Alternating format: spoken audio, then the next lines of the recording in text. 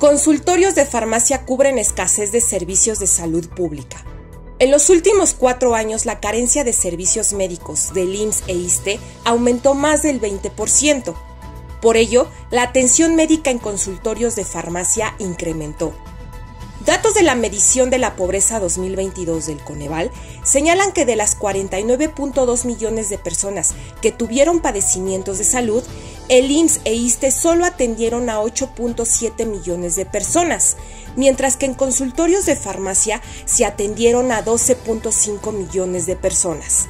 Todos tenemos derecho a atención médica. Soy Cintia López yo influyo.